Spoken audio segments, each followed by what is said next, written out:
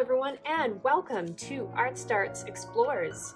My name is Kay Slater, and I am the gallery coordinator and preparator at ArtStarts in Schools. Welcome to a new month of Explores. This month, we're going to be exploring maps, and this is week one of the three weeks of workshops that we're going to explore through together. I wanted to take a quick note before we got started because one of the important rules of Explores is about respect. And so this week's theme of maps, um, you've probably seen a map, you've probably used a map, or you've uh, you've been with somebody who's used a map before. But I wanted to acknowledge that maps, the act of mapping or writing down a map, is is actually a colonial tool it was um, it was a reason for people to go and invade or explore land that wasn't necessarily their own for the sake of conquest, for the sake of completing a map, um, and for for some, especially for many indigenous people uh, around the uh, around the earth, um, maps are actually a sign or a, a, signal of a of a past um, where people came and invaded or took land from them. And so, uh, with all explorers, with all art making, it's important that we acknowledge history. Um, and even when it's uncomfortable or uh, we, we know it's bad or it's wrong, it's better to acknowledge it to understand it, to learn about it, than to ignore it or bury it because it's uncomfortable. So uh, I just wanted to have that in mind as we explore together the next couple of weeks about what uh, what maps are, what they can do, and what they mean to us now, um, especially here on Turtle Island, or where I'm coming to you from the uh, stolen the stolen territory of the Tsleil-Waututh the Squamish, and the Musqueam people. So you've probably used a map in real life um, for the purposes of wayfinding or uh, navigation. You get into your car or um, you're going for a walk and you need to figure out how to arrive at a friend's place, or you're starting a new school and you need to figure out the best route to get there. Um, but for this week, I thought we'd actually we'd take the real world and we put it to the side because those maps they already exist. We've we've, we've probably used those before. And so for week one, I thought what we could do is we could explore making our own fantasy world. Oh, I already wrote the sticky. And so we're going to build our own world and we're going to prototype that world by playing with maps. Okay, I'm going to put these stickies to the side. We go, make a little bit more room. So yeah, we're going to be building our own world. Before we get started, here are some of the tools that I thought we could use to explore. You can use whatever tools you want when you're making uh, wherever you are making. But uh, I want to suggest that if you have some paper, and it doesn't have to be clean paper, it doesn't have to be fresh paper with no marks on it, it doesn't have to be um, eight and a half by 11 from a printer. Um, I got these out of the recycling bin. Um, and for exploring, remember, nothing is for keeps. So using recycled paper is great. A mark making tool. So a mark making tool is anything that makes a mark. So that could be markers, and I always use markers because it's a little easier for you to see on my layout, but I love using crayons and pencil crayons, even just pencils and pens are, are great for this ex exploring. I also have, you see this dotted line down here. These are things that I was thinking I might try using, but you might not have available. And that's okay. There's lots of ways that we can explore today with just mark making and paper. But I was thinking maybe if you had a board game um, with some ready-mades, because these kind of tokens can be really great to mark a space or mark an area and can be moved around. And so if you have a board game, even if you have some Lego, any kind of ready-made that you have a bunch of that you can place on a piece of paper could be something that you might want to use while we explore today. And then lastly, it's scissors. And I decided I would put that there because some people don't like ripping paper as much as I do. But whenever there's a chance for me to rip paper, I'm going to rip paper. Okay. So when we're looking at uh, building our own world, when I'm talking about building a map for prototyping, what we can do is, is we can start thinking about what is on our fantasy world. And so even though the earth is a sphere, is a circle, right? The map that we sometimes see in two dimension or on a flat piece of paper, they've taken the globe and they've kind of split it out into pieces and then used math so that you can see all the pieces of the earth kind of flattened out. And that's why sometimes or often um, some of the places towards the poles, so at the, the top and the bottom of the globe, are actually blown up. Um, and that's and that's uh, that's so that there isn't like a black line for the spaces because if you divide up a um, a circle, it doesn't exactly translate. You'll see my fingers are kind of spreading out. So the space between my fingers would be black. So they fill that in by kind of um, expanding the um, the different continents.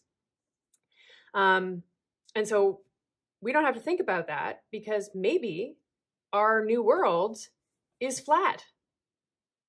Right? We can really go as deep as we want when we create our own world. We're not constrained. We're not fixed. We don't have to use a world, a fantasy world that is on a round planet. Why couldn't it be flat? Why couldn't it be donut shaped? Why couldn't it be a bowl? We really can think of whatever shape we want. My world, for the sake of just drawing a map, I think I'm going to just think about it as a flat surface. But if you wanted to sit and think about different shapes a world could be, that might influence how you draw your map. The next thing that we want to do is we want to think about different um, landscapes or the different um, kinds of uh, weather or terrain, land that um, that are on your world. And so, if you've ever read a book where there's a map at the beginning, you might notice that they'll put um, areas in here. I'm just going to start drawing because I can, and I can rip it up and I can move it around when I'm finished.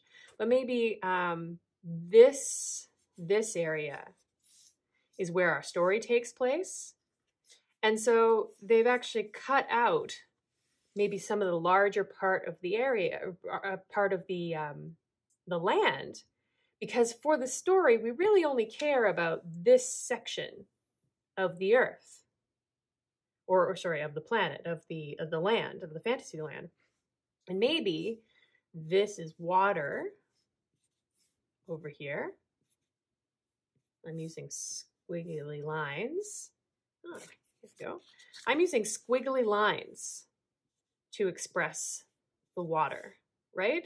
These aren't really waves. They look more like W's and squiggles. But once you've seen this often enough, you start to recognize, you start to associate water with these kind of symbols. And so the more uh, maps you look at, the more of these kind of icons that you can steal um, that you can use when you're creating your own map. Um, but you could create your own. Maybe water on your world doesn't have waves. Maybe water on your world is all frozen and you want to show your water in lines. And you get to decide, right? You get to be the map maker. You get to create your own legend, which is a way of reading the symbols on a map. So however you wanted to do it, how else could we express? Maybe, oh, maybe you have um, lava. And so maybe your water is nothing but fire. You do little fire symbols, right? Whatever you want to, to do in there. maybe in my world, this maybe there's frozen, frozen water over here. And then all of a sudden, there's great steam right here, and it turns into fire. Interesting world. That's something else that's really cool about thinking and dreaming about our own fantasy world is that the rules, or even um, science and uh, math, don't necessarily have have to be true or real in your fantasy land. And so while when you're when you're mapping or when you're um, learning about the world and geography in school, they'll tell you that um, certain bodies of water um, will only have certain kind of fish or um, certain areas that are drier um, only have certain kind of rain patterns or water patterns or, or whatever it's going to be. Um, but in your world you can decide that maybe there isn't gravity or maybe because the water is different um, you don't get rainfall maybe you only get pudding that falls from the sky, right? There, the only rules are the rules that you make for this fantasy world, and you can reflect that in your map. I really like that pudding idea. So I've decided that this land, so there's two land masses on this area of my map that I've decided to focus on that we're getting really, really close to. And this is this is one way of starting to build your world is that you can think about just like that storybook of just one space, one close area and define that first because you can use a bunch of different pieces of recycled paper and continue to build out as you go. And so I really liked that pudding idea, and I've decided that this right here beside my ice lake is the Valley of Pudding. and I've done a bunch of dots here, but pudding isn't really dots. So right now I'm just, you know what, I'm just gonna define it like that. And then I'm to take one of my pieces of paper and I'm to rip off a little section because I'm just playing as I go along so I can remember. And I'm to write pudding.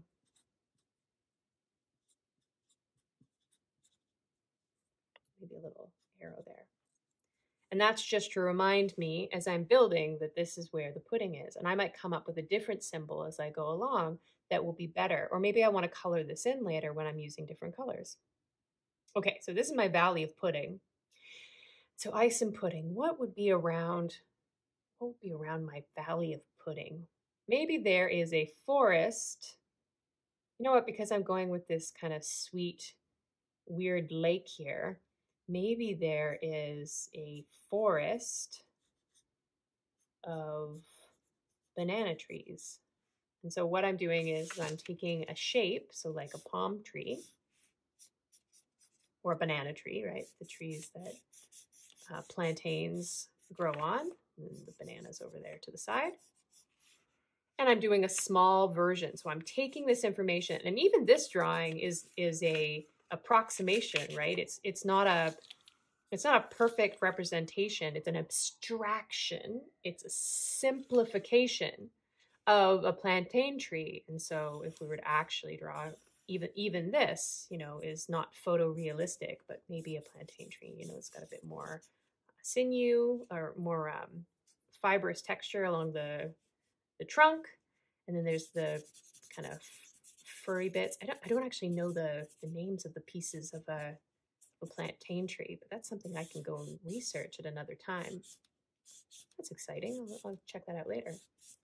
Oh, it ends up looking pretty close because I don't actually know what um, what plantain trees look like um, in detail, I'm not actually doing a very accurate representation and I'm kind of stereotyping my knowledge um, and putting it onto this onto this picture, which is another reason why um, maps can be can be tricky, right? Because a symbol can represent a whole bunch of things and it doesn't really give you any kind of depth of information. It doesn't give you um, information about the earth that the the trees are growing in or the people that cultivate um, and so there's there's a little bit of an erasure a little bit of uh, ignoring or erasing that happens because we're trying to translate a whole bunch of information into a simplified visual representation of of a place.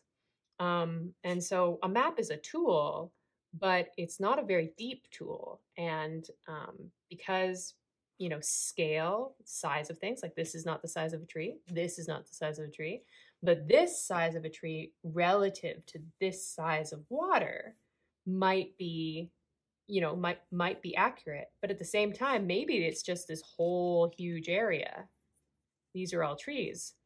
And so the trees wouldn't be that big but for our eyes rather than drawing the trees this size and nobody really being able to understand what those trees are by making them a little bit larger we can express or we can share that this area is populated by these kind of shapes of trees.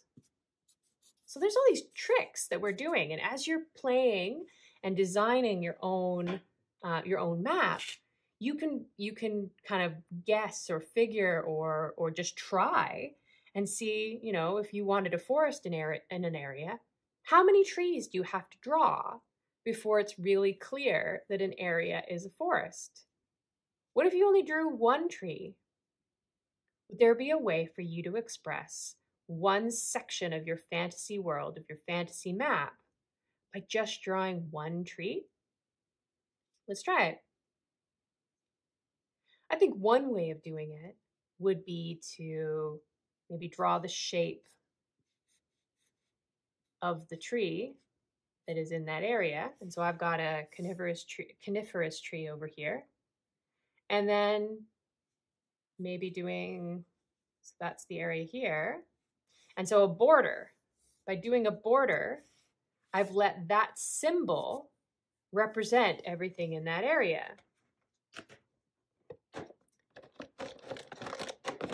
But we could also use color.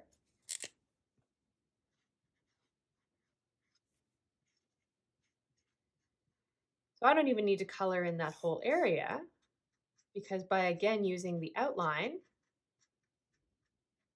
and using the color to code that area, to represent that area, I've made a connection, I've made a link between that defined area and that tree.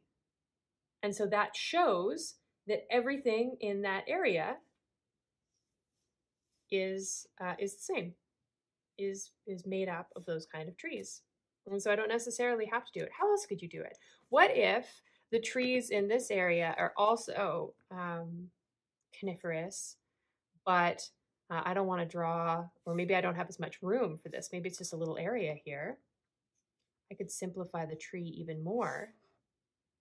You ever seen a toy like that, where it's um, where it's a triangle with a little base down here? Kind of like a Christmas tree, right? And so, because we understand that this map, that the map is representing land, that this probably doesn't mean triangle area. I mean, it could, but it probably means a tree because we recognize that shape as being similar or a simplification of that, which is, of course, a simplification a really detailed pine needle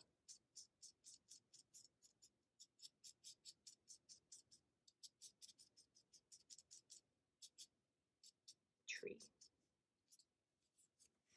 Right? And so it's just, we're continuing to abstract or simplify down so that the shape can represent something.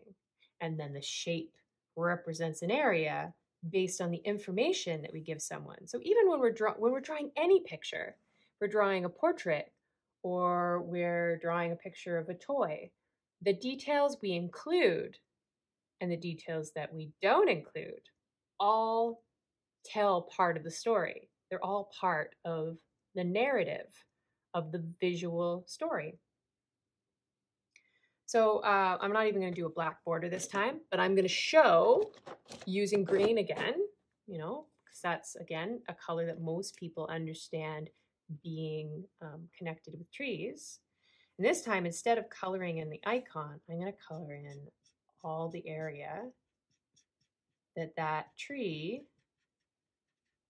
represents or where that forest is.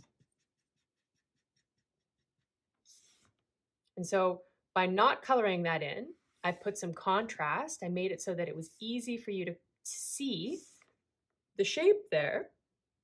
And then I colored in the area rather than outlining. I colored in where that tree is going to be. I think I'm going to do that one more time. Only, I think I have another green here. Yeah.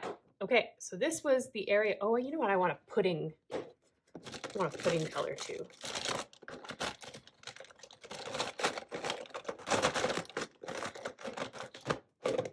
There we go. Okay.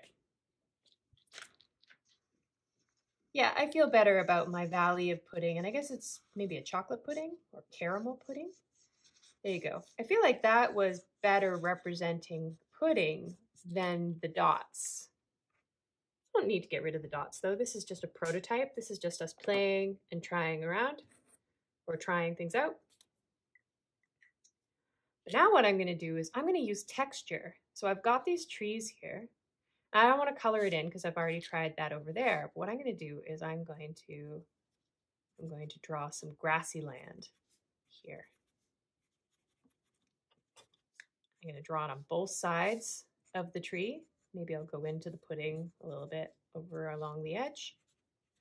I'm not being I'm not being very careful. I'm not drawing every single line carefully because at this point we're just we're just trying things out, right? You know what? I'm going to move my pudding sign over because now I've I've colored this in and that's a little bit clearer.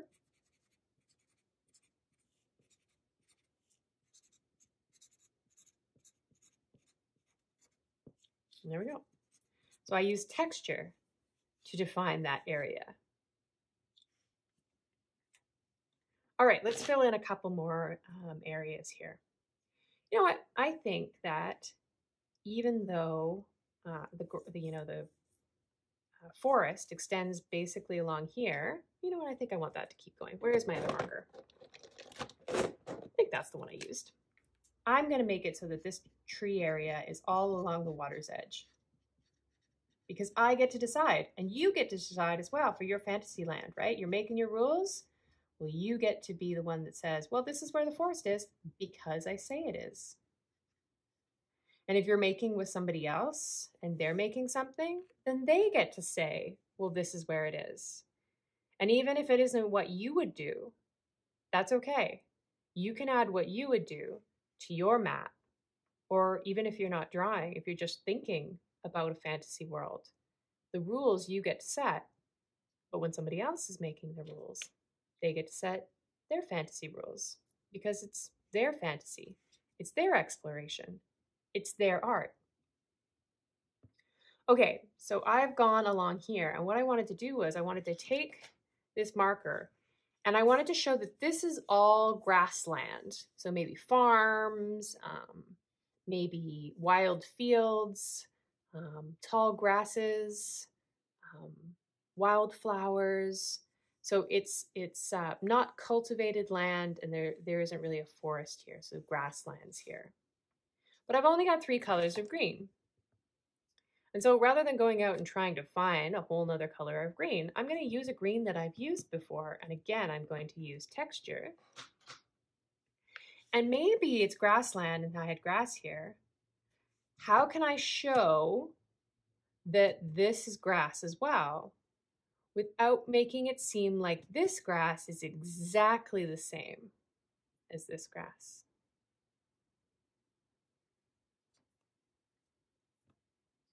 Well, the way that I think I'm going to try is, is that the squiggles or the kind of grass texture that I added in here were about this long. So what I'm going to do now is I'm either going to go bigger or smaller. It still kind of looks like grass because it's a simplification, right? Really, in actual fact, it's just a scribble, right? That's all it really is, is a scribble. And so it's the context or the fact that we're working in a map that allows us to look at a scribble and go, I know what that means. If we just saw the scribble by itself, we wouldn't necessarily know that it meant grass. We have other clues, like the fact that I used green, but maybe in your fantasy land, the grass is all red. And so, how could you express it when you're talking to other humans, when you're talking to other people who understand these kind of symbols, but to um, also share how it's different? And so, by using the shape of grass and then changing the color, you're only changing one thing, and it's easier for most people to go, Oh, I understand because there's uh, things in common. There's a link to something that they understand or they've seen before. But I don't have green grass or uh, red grass in my land. I have green grass. And over here, I'm going to show that this is grasslands by just those little squiggles. I'm kind of spreading them out. Doesn't have to be everywhere. If you wanted to take the time and it can be really relaxing to do this. If you wanted to take the time and just fill in a whole area with texture, you absolutely could. But I feel like I'm getting my point across by just having a couple of squiggles. And because uh, I wanted to try something something different and this is just my play. I think i'm also just going to show that this was grassland over here. So this is this is the same kind of terrain the same kind of land. And um, if the water was really this big and this was a whole big huge forest we think of how big a tree is. Like this is a really big area. And so i just want to take uh, a moment to go that even though um, the weather may be the same or the grass may look the same from one area to the next, that land is different. And so, land that is separated by a really far distance over here, we don't have any information other than looks that these are the same. We don't know the people who are here. We don't know what kind of things they grow, what they eat, the animals.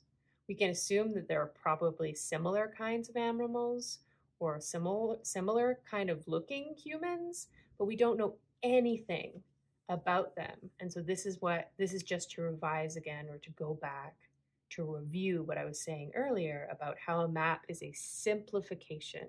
We don't have all the information, and so a lot of assumptions happen.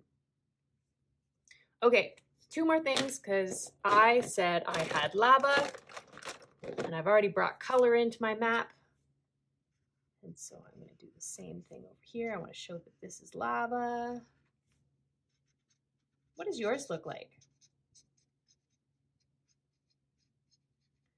What kind of interesting things do you have? And you know what? Your your fantasy map, your fantasy world can be really interesting even if it looks very similar to Earth, to, to the world that we have now. And so maybe you don't have a lake of fire and maybe you don't have fantasy creatures. Maybe it just looks like another version of Earth where you're imagining different things. Maybe it's just that the land masses, the continents look different.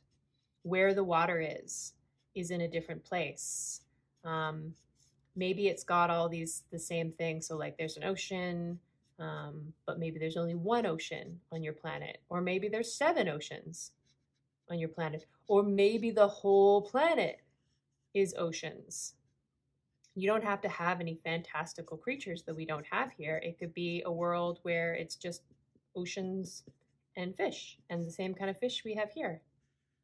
It's a fantasy because that's not what we have here, and it's something that you came up with in your head. Okay, uh, I said that this was ice. Mm, what do I have here? Okay, I have this kind of light color. I'm going to show that this is ice by uh, not coloring in the whole thing. So kind of like the shine that happens on ice. So like the light reflecting on ice. There we go. Okay. I don't need my white. So there is one section of my fantasy land. And so I use color um, and I use symbols to define this area. But I want to make sure that people um, know the names of these areas. And so I could try and get a pencil or a pen and write really small in some of these areas, but it might be difficult. And so we're going to do something called a legend. You know what, this is a good time to talk about, again, uh, going back to um, maps, especially as a colonial tool. Um, if you think about the, the um, especially in the Western world, about how um, how people from Europe were going out into the world to try and expand their maps. If they didn't have a lot of information about other land masses, they wouldn't necessarily need to draw those land masses at an accurate size because they didn't have to fit as much information into those spaces. Here, I want to give you an example of what I mean before I before we look at legends. So I'm going to go back to my black. So um, pretending this is going to be a very bad version or shape, but but here's here's Europe. oh my goodness. And then um, we've got all the other all the other land masses around it. Oh, Greenland. And then, oh gosh, and then South America. Okay, as I said, this is a really bad representation. But what I, what I was trying to get at is, is that um, the people who live in this area, or more specifically, this area here, don't have any information about the rest of it. But in this little section here, they need to fit their water and their roads and the little uh, towns and um, important places and their palaces and all of a sudden there's no room for them to be able to fit all that information there. And so, because that was what they knew, having those areas be larger and so that they're not necessarily representational or, or um, they don't necessarily have the right relationship relative to the size of the other things.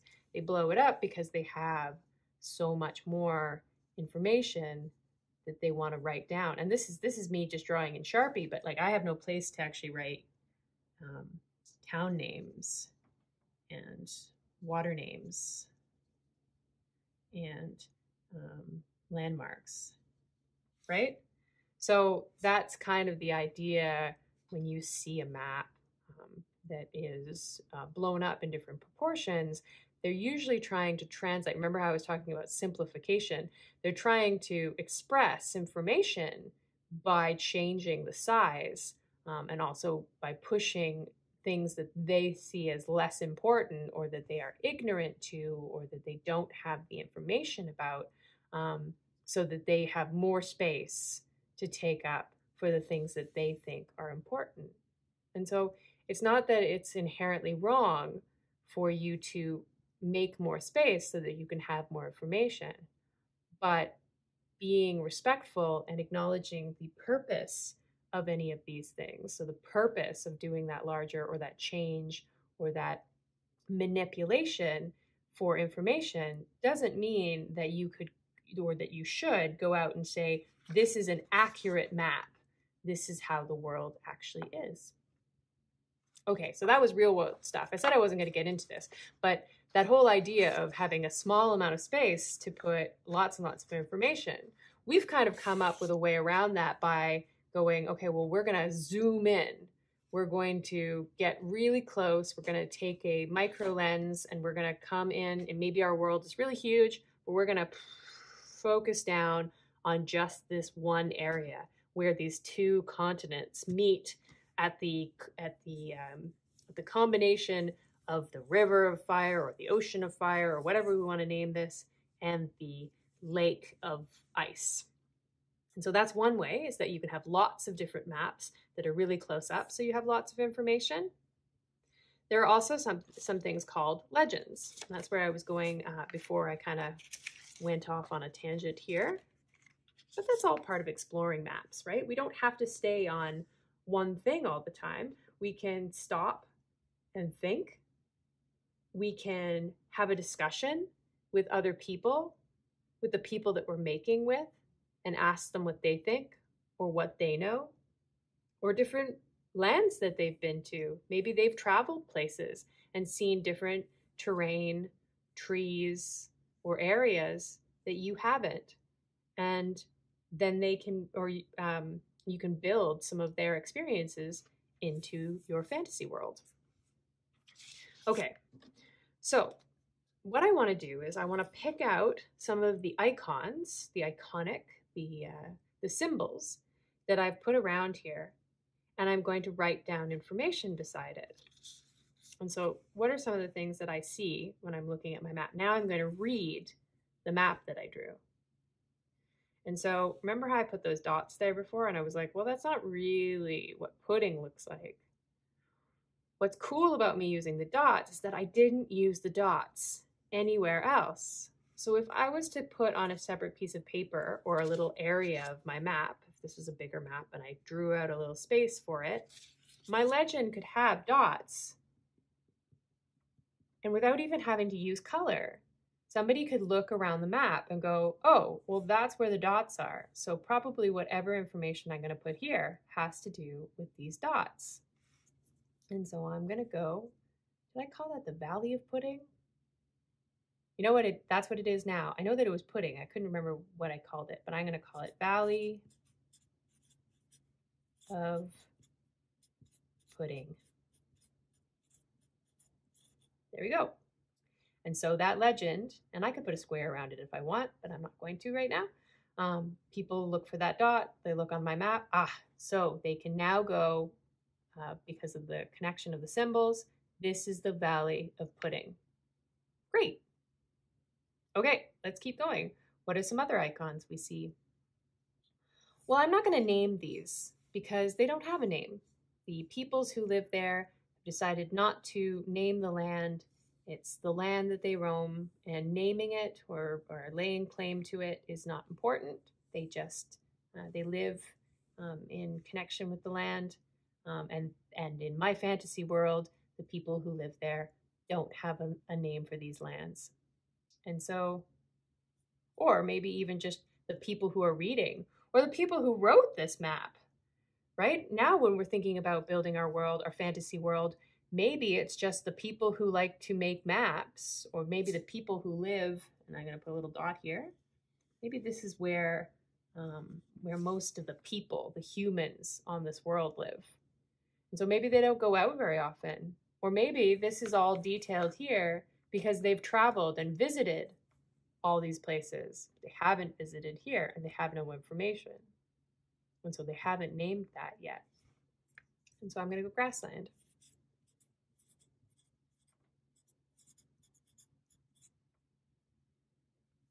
Okay, what else? I ripped off just a corner. I'm going to keep using this big piece of paper. What else do we see?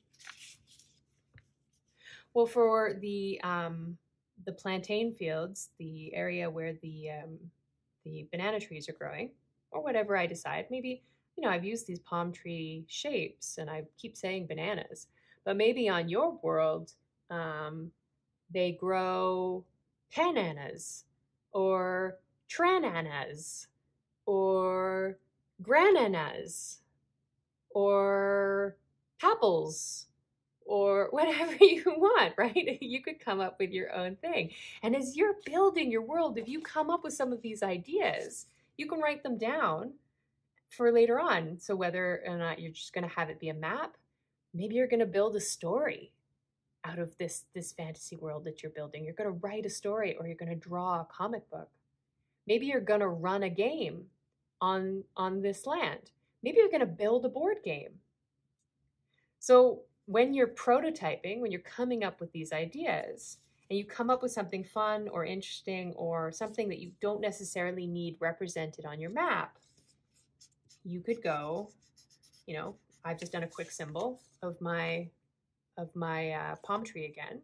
and I've gone grananas because I thought that was funny and I wanted uh, I wanted this to be a field where grananas are bo- uh, are grown um, or maybe they're born. Maybe the trees ooh maybe the trees are sentient. Maybe the trees actually are like are like humans. They have brains. They can think they can make decisions in this world. Um, and then I can be like do they move? Do they talk? And I can ask those questions as I go along, and that can be fun as I continue to build out my world. And I'm going to put it to the side because I don't need to answer that question right now, but I don't want to forget about it as I'm playing and I'm coming up with this world.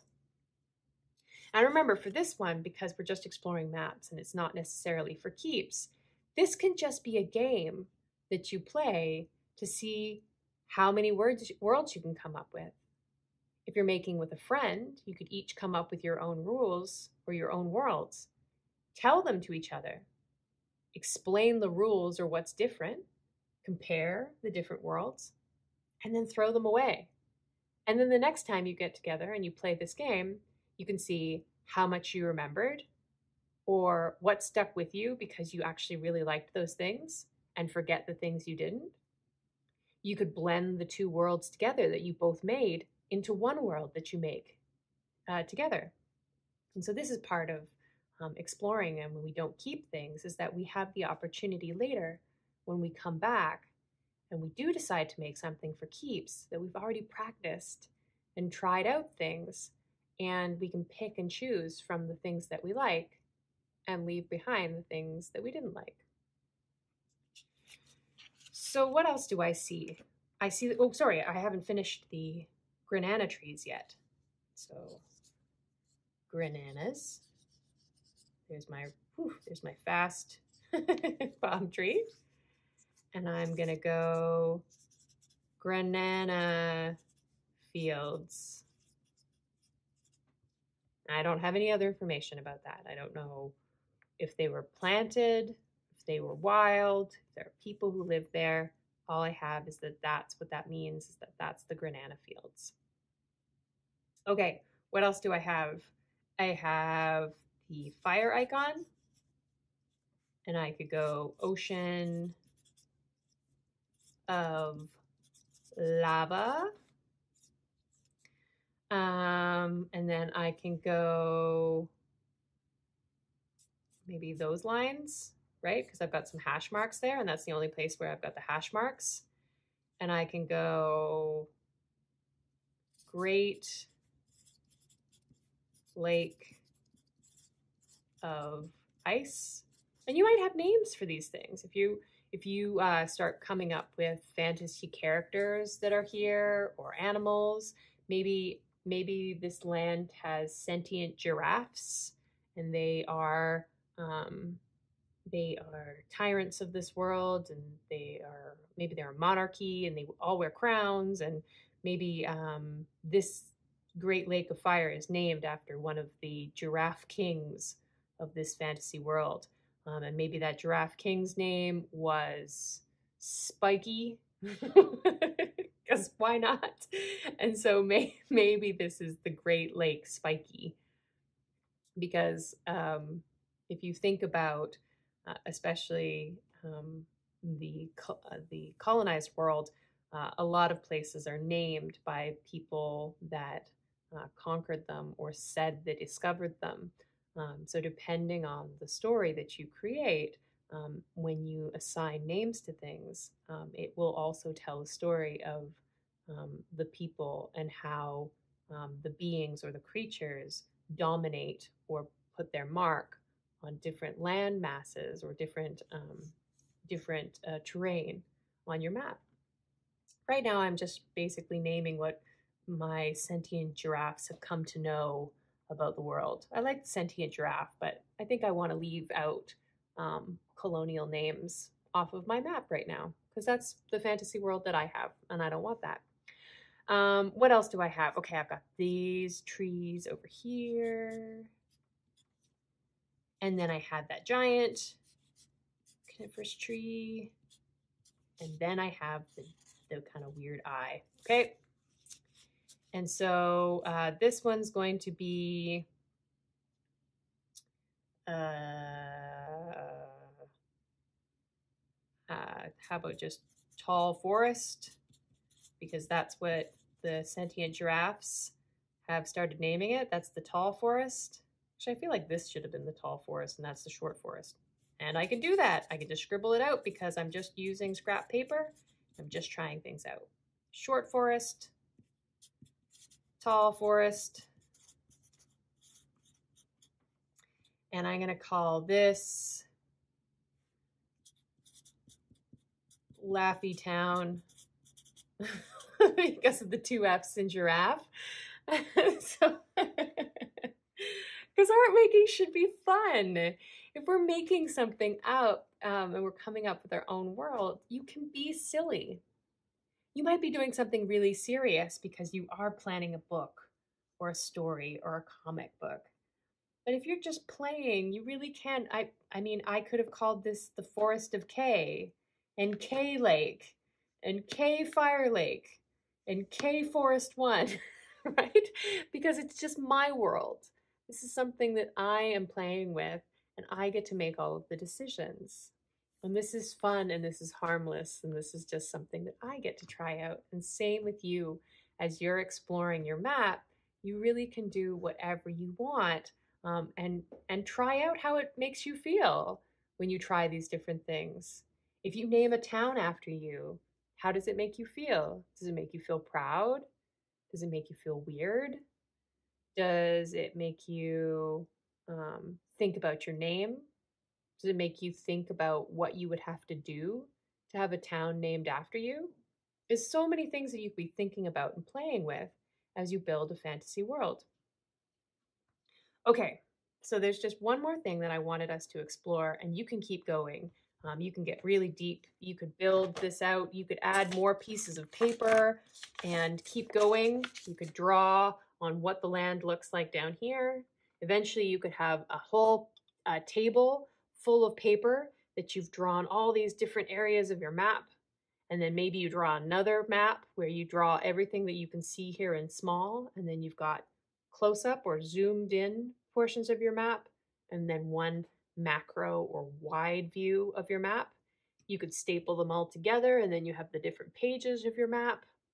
If you're building a, a book, um, oh, sorry, a like a, a journal of information for a book or for a story or for a game later, you could keep some of these things, staple them together, and then they're reference for you to go back and go, what was that idea I had? Oh, right.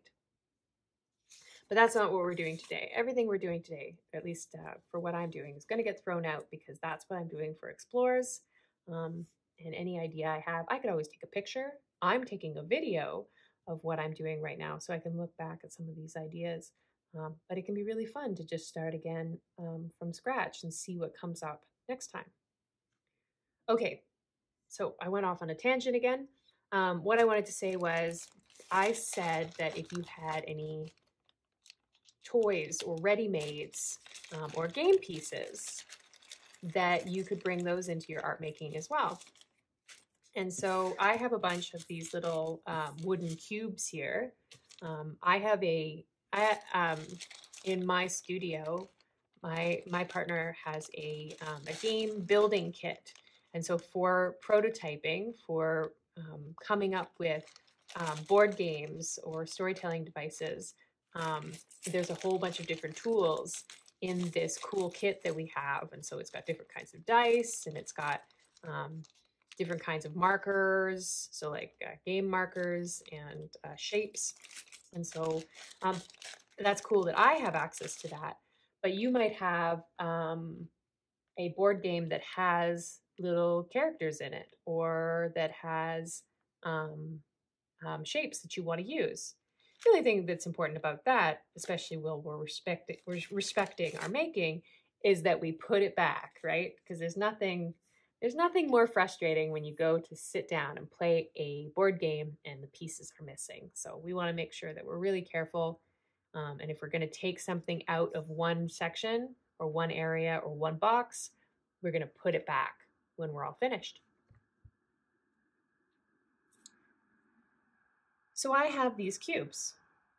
And so I've already kind of made a part of my map. And so I could play around and I could I could assign meaning to any of these cubes. So uh, one way that I could do it is I could decide that all the yellow pieces are where towns are.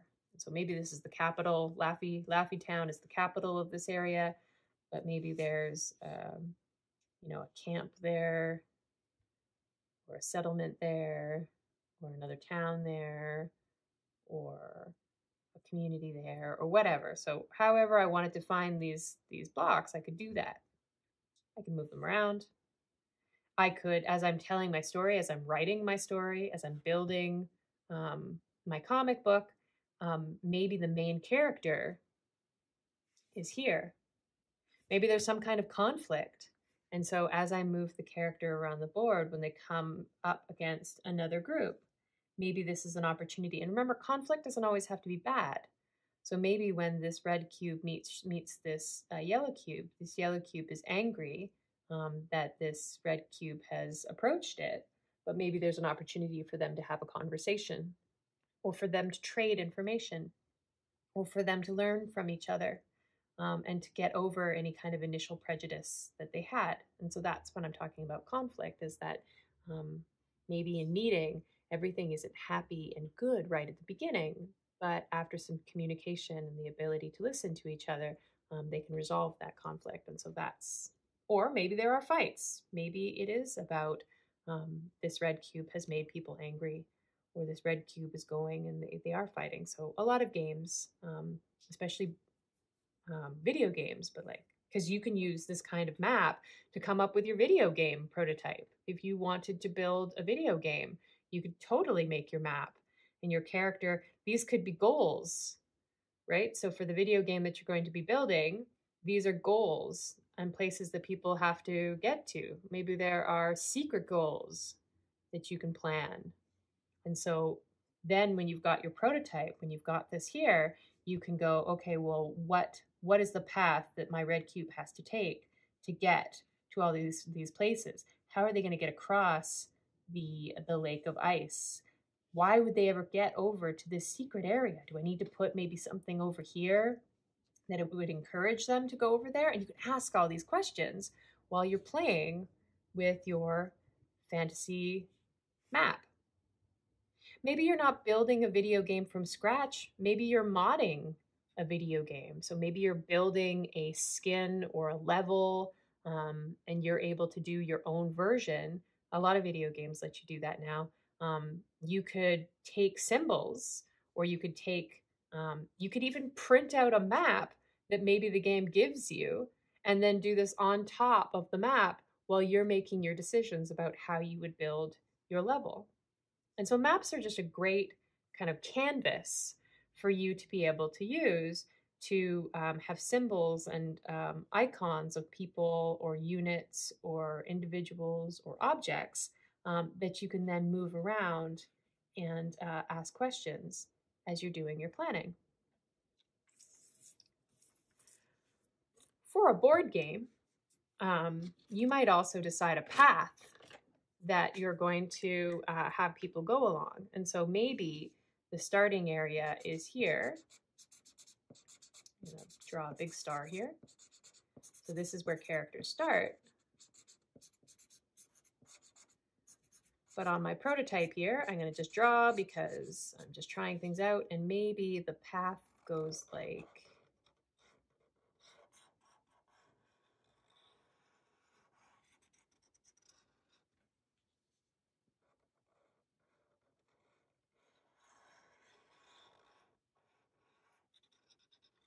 maybe that's the path that I want them to take. Maybe there's a side path where you can go the other direction, but you have to actually go around here.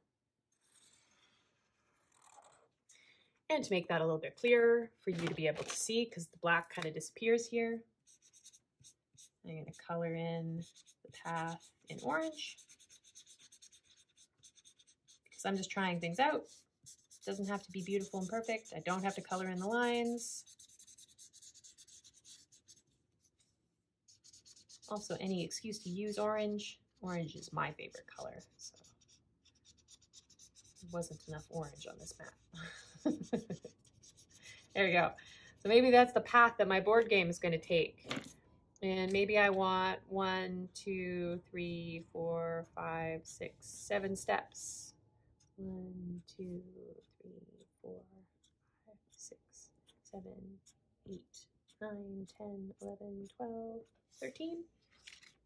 And then as I'm planning out my board game, so this is where the legend can come up again. So maybe those are the different areas here, but maybe I've got another piece of paper that as I plan out this game, maybe I'll go grab some dice and I can, I can move uh, my characters along here and I can, you know, in my fantasy world, when you are making rules, you can go, uh, when characters are on ice, lose one turn, right? And so you can come up with these ideas as you're going along and go, okay, that makes sense. So maybe they have to wait, then I'll roll and go, oh, no, that that they're able to roll a six and they're able to get past there. No, that's too easy. I want to add more boxes in between that they have to go to because I always want them to have to move slower when they go over water. Um, and so you can make these decisions on your little prototype um, before you start making something for keeps. There are lots of different ways that you can explore building your own world, and I've just explored a few of them. Um, if you did something really cool that I didn't think about at home, I or wherever you are making, um, I would love to hear about it. You can always comment on any of our videos on Facebook, on YouTube, or at artstarts.com slash explores dash online. This was just week one of maps. We have two more weeks of uh, map making together, map exploration, and um, all of those videos will be archived online. You can always come back and re-watch this video, watch it with uh, friends or another grown-up uh, when you're making again in the future. Um, and then um, in the, the following weeks, those will all be posted online as well. I'm going to leave the camera running for a little bit longer as I always like to do because cleaning up is so much a part of ArtStarts Explores and expressing respect. Um, but thank you so much for joining me this week and I can't wait to keep making with you next week.